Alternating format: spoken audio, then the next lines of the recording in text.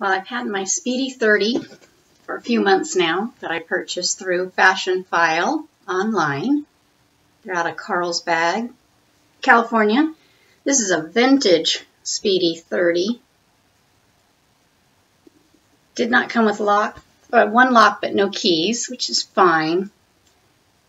But this is a vintage piece because it's 27 years old.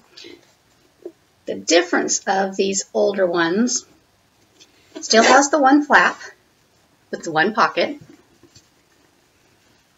Does not come with a D-ring for your keys, but the date code is not behind the flap. The date code is actually on the opposite side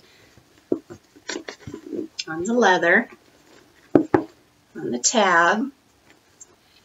It's not going to come through on this video, but it is FH0991 which in that case would mean the ninth month of 1991. It is in excellent condition. There's absolutely no spots, no stains on the canvas. The piping along the edges, 100% intact. Zipper still works super smooth. And after I purchased this through Fashionphile, I didn't want to get one of the base shapers that just sat on the bottom, so I was investigating on YouTube and found Purse Bling, and they have different types of inserts for your bag. The one that I chose is awesome. It has 11 different pockets and sizes. It does have one clip-on for your keys.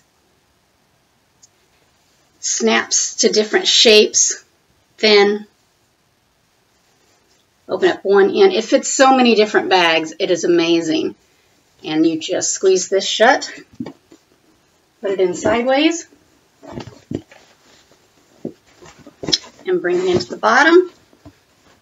And it fits perfectly. I know you can't see this with the lighting very well, but I chose brown since it's the same in color or interior color as the Speedy 30s. Vintage bag. Sorry about the lighting but it fits in there absolutely perfect. My coins, I never just have loose. My wallet and my checkbook.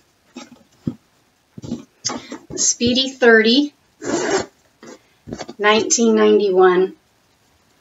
As you can tell, it does not sag using the purse bling. And everything stays where it's supposed to be. Absolutely love this purse. Very happy with my purchase. I would buy through Fashionphile again in a heartbeat. And I hope that you enjoyed my review of the Speedy 30 Louis Vuitton monogram handbag.